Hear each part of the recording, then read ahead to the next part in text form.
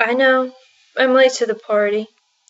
I woke up from a blissful ignorance that I cannot get back to, and now I'm a little pissed.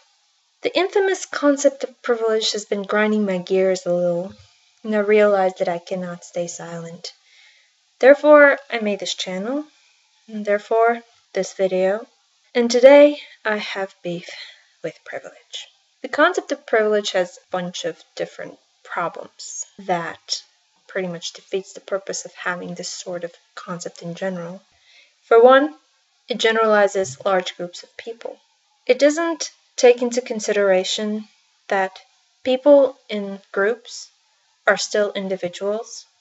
Privilege will just take no prisoners. And for the social justice people, this is good because they don't have to do a lot of math to count all those who are more privileged in that group than the rest. There's never a benchmark of how big of a scale we're looking at this group of people. And in some definitions that I've read, they basically imply that just because you're in, fit into a certain group, you are automatically privileged, which is very unfair to the individual. Privilege has no individuality. It ties into the next issue, which is privilege is based on stereotypes. Have you ever read privilege checklists and facepalmed throughout the whole list? Almost every other, if not all of the list, is based on some sort of stereotype.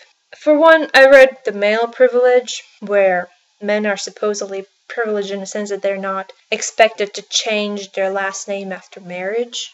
But let's disregard the fact that women do not mind this for the most part. And if they do, they can voice it and they don't have to take the surname that they are offered. I'm pretty sure in many countries you can be married but under different surnames. Another stereotype is that if men fuck up in some way, it's not attributed to their gender. They can screw around and not be called whores. So on and so forth. And you can find these stereotypes in every checklist. I guess one of the oldest checklists is the white privilege checklist, but Peggy McIntosh was smart enough to write that this checklist, in her opinion, applies to her situation.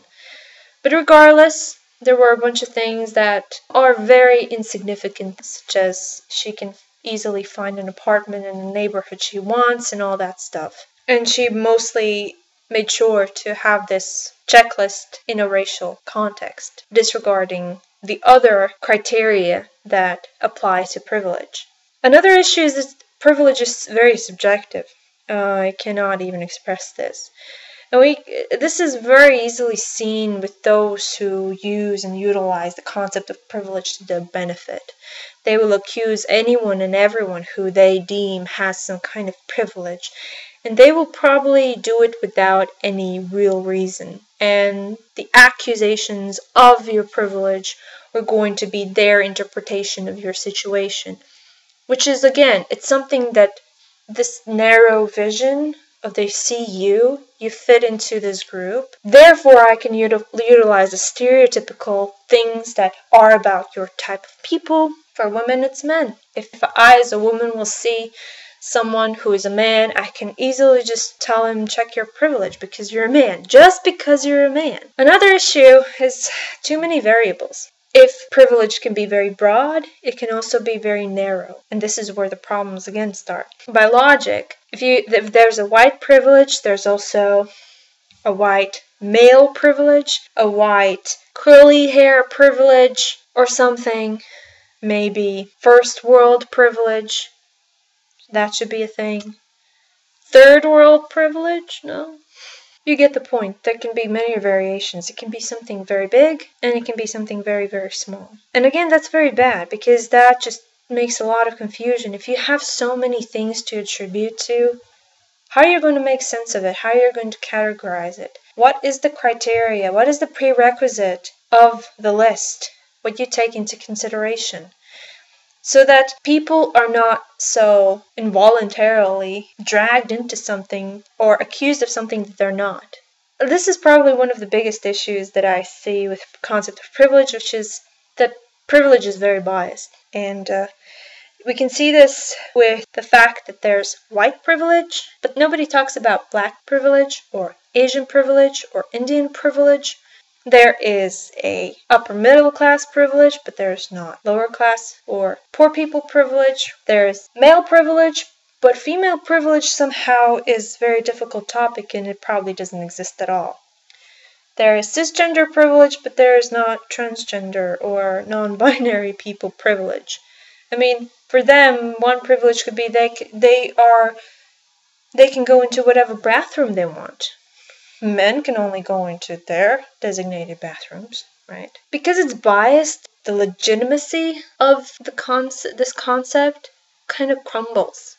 You realize how unfair it is to those who are accused for no good reason. I think the biggest pitfall for privilege, however, is that it's very vague in a sense that they're they don't have a goal other than exposing inequality, social injustice amongst groups of people that I think everyone knew already. It's not that people are unaware of their privilege. They're not privileged in the social justice realm of things. Because the moment you call someone privileged, you always have to remember that this is just only one way. Just because someone is white doesn't mean that they're privileged. They have some racial benefits to them, some. But that doesn't mean that just because they're white, therefore they're privileged. White female is not as privileged as a white male, and is not as privileged as a black male, because the black guy is still a male. Do you see where I'm going with this? The privilege just completely it has no goal just because i acknowledge something doesn't mean that therefore i'm going to change something it also kind of ex- the underprivileged expect the supposedly privileged to fix some kind of imaginary problem. Of course they will never give them guidelines how to fix something. They will just cry out you are privileged. Check your privilege. And that's it. How is this in the grand scheme of things how is this going to help you who supposedly is underprivileged. I think it won't. I think you still will be underprivileged, and then you will be able to cry some more. And therefore, if you do, if you can cry about how underprivileged you are, you will become privileged. And those who you accuse of being the opposite of you cannot do that because they have too many benefits. The last thing that I've noticed is that it's incredibly selfish. In a sense that those who accuse people of having benefits will always say that it's unearned benefit. That it's never granted, it's never earned, you never acquire, it's just something that you have. And I find that to be very crippling. It strips away the accused one of any rights to defend themselves. Those who are accused of being privileged have nothing to go on. It's like being tied to a stake and burnt alive almost. They're roasted just by being a certain way, and they don't mean any harm. The average person, however privileged they are, will not mean harm to those who are underprivileged. Yes, they will feel bad, but they will acknowledge that they too, in many ways, are underprivileged. I'm not undermining that privilege doesn't exist. It's just that it's really it's exploited in a very bad way. It is misunderstood. And privilege is not something of race or gender or anything of that. I think privilege really bases itself on how much money you have and how many connections you have. I think that's the base, that's all. It's very simple. Just like in the simplest definition, it's a special right or benefit granted or made available to a person or a group, only to a person or a group. And I think it should be left at that. You don't need to go into intricate detail about what it could be. That defeats the purpose. It becomes too complicated, and nobody will take their time to understand unless they're very obsessed about it. Overall, I hope I made some sense into this. I hope you learned something. I'm sorry for this all over the place thing. Maybe over time, I'll be better. Until then, be happy with your privilege